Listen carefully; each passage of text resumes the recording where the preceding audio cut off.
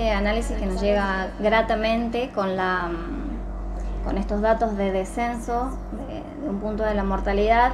significa el trabajo arduo de varios años en salud pública, eh, desde la intersectorialidad también,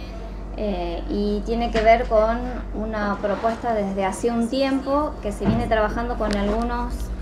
eh, indicadores y estrategias sanitarias que tienen que ver con el cuidado de la mujer embarazada desde la gestación hasta el cuidado de los primeros tres años de vida, que es a través de la ley de mil días que fue sancionada,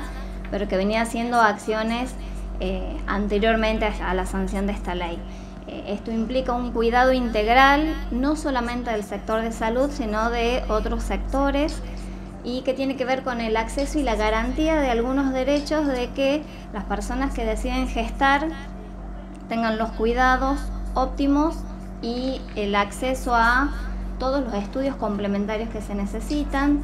eh, de tener estos alertas de los equipos de salud, pero fundamentalmente que una vez que ese niño nació y tiene su control de salud, pueda acceder a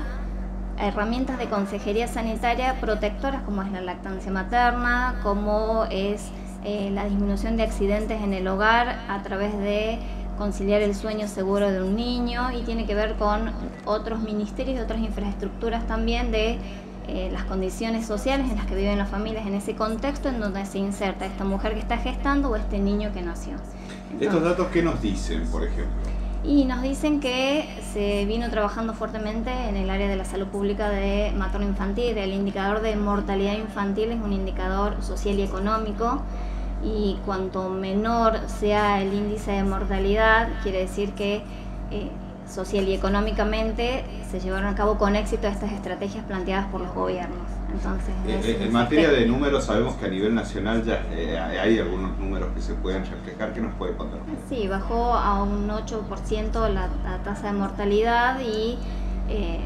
venía en 9%, entonces esta disminución de un punto, bajar un punto la mortalidad implica justamente lo, lo que vuelvo a decir, una serie de estrategias que se viene llevando de un tiempo a esta parte y es sumamente grato para nosotros y la idea es ir en descenso. Incluso durante la pandemia bajó, entonces venimos desde hace un tiempo a esta parte, en los últimos cinco años, con un descenso eh, paulatino pero progresivo. Bueno, estos datos son a nivel nacional, sabemos que Catamarca también tiene sus propios datos que se tienen que cotejar con Nación, esto está en análisis todavía, ¿no? Sí, está en análisis, eh, ya van a llegar los, los datos oficiales que van a ser para darlos a conocer, pero la tendencia siempre va a ser en baja. Eh, por suerte, porque estamos en concordancia con, eh, eh, con todas las acciones nacionales, porque, como lo mencionaba la ministra Bisotti,